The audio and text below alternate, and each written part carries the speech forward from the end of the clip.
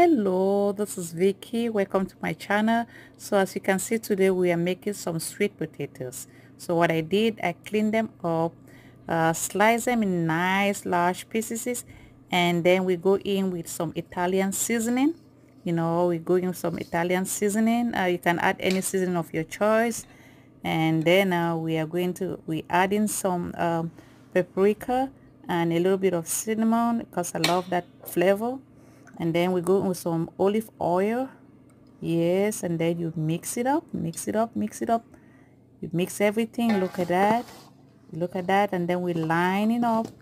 We line it up well good. Place it on the oven for about 10 to 15 minutes and voila look at that.